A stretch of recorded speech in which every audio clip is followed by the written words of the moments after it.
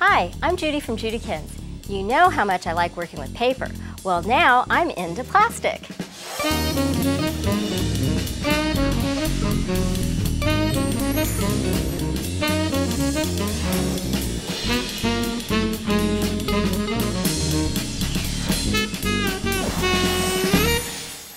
Take a look at this clear sheet of plastic here that's cut out in the shape of a tag. This is the round tag album from Clear Scraps. They have a huge variety of shapes and sizes.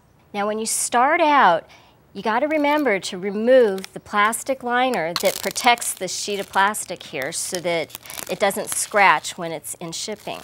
Because this panel is so clear, I could attach the photo from the front, but I'd really want to attach it from the back. And since you can see through it, you're going to actually see the adhesive as well. So I found that the Trio adhesive is also clear. Just apply that Trio on the front of your photograph, which is a little different than what you're used to. And then center this in the middle of the panel, kind of towards the top. And you notice that you see just a little bit of the adhesive, but not too much that distracts from the photo. Now this is going to be the top panel of my little album here.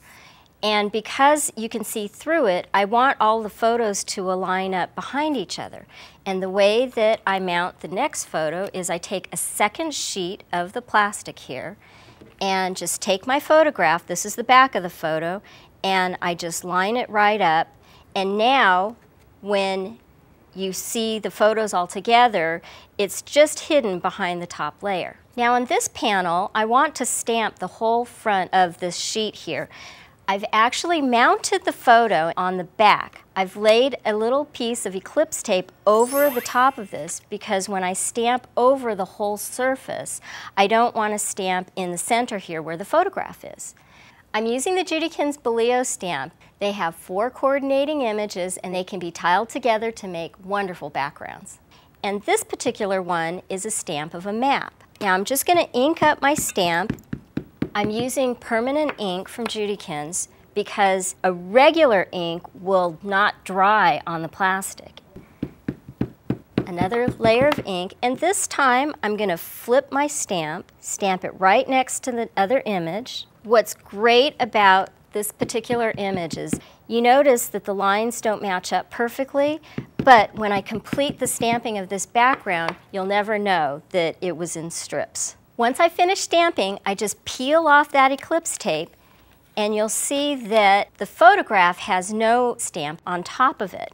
Now here's my panel that's all finished. You notice that I've added some of the color here in the background and the color is transparent.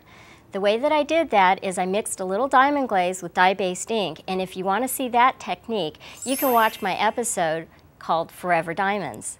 Now you know me, I like playing around and experimenting with different things. So on the back of this panel, I'm actually going to paint with watercolor. I'm using some watercolor paints here that I'm squeezing out onto just a little piece of plastic. I've got light blue and dark blue. And now I'm going to mix it with diamond glaze because diamond glaze helps to adhere it onto the plastic. It's a clear adhesive, but it could be mixed with all different types of inks and paints. So I very carefully paint on my panel. And you notice I'm leaving some of those areas open. And the reason why is because I'm going to be adding a second color over the top of that to give it a two-tone effect. And it's just going to look stunning. And you notice I'm working on the back of the panel. Now this just takes about 10 minutes to dry. So while that's drying, let me show you how my panel looks after I've put on a second layer of paint, which I used some greens. Now I'm not quite finished yet. I want one more detail along the side here.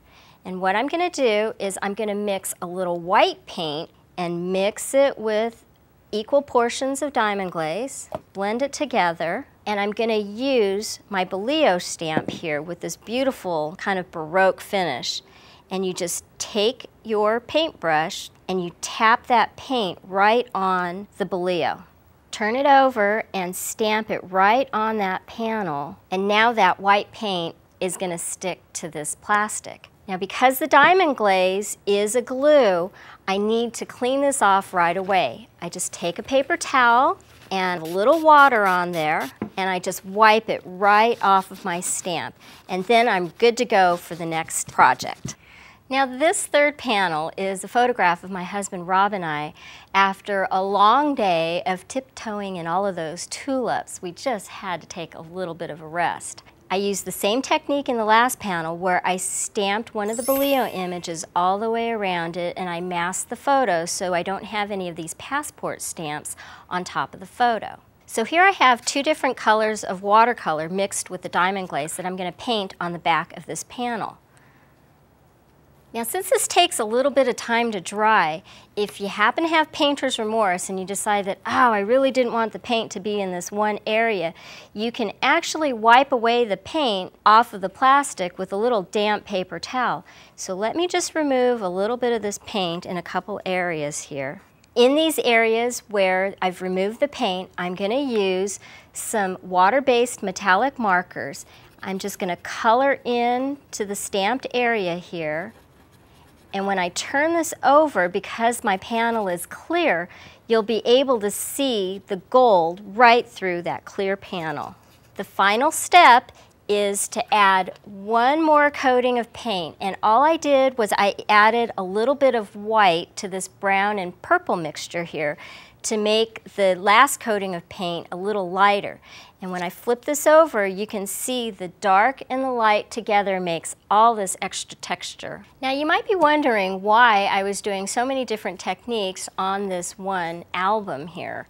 Actually, the thing that's great about it is because the album is clear, you can kind of see through it and I can build all of these different layers.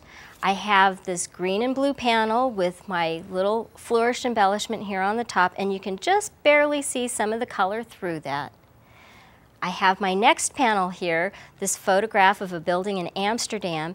You can see my map. What I love about this is even though this panel was painted with reds and greens, you can see the blue through it. My next panel has just one embellishment on it. It's very simple. This has some glitter in it that was mixed with the diamond glaze. And you can see this beautiful photograph of all these flowers that were at this one park. And finally, my last panel just has the photograph with nothing else on it.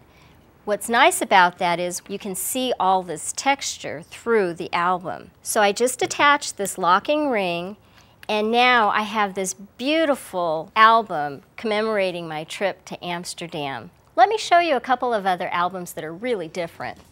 Now here's another variation that my friend made up and you notice that it's got really bright colors and these beautiful ribbons on the side.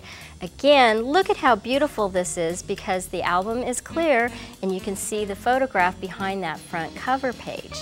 This one is my favorite because it's a combination of both paper and plastic. It's cut out in the shape of the word baby with all of this beautiful detailing along the edges you can see when you open up the panels, you've got all of your photos and everything hidden inside. Now the next time you're at the grocery store, when they ask you if you want paper or plastic, tell them you want both. I'll see you next time. For step-by-step -step instructions on how to create this week's project, download the design guide featuring special make-it-your-own bonus tips.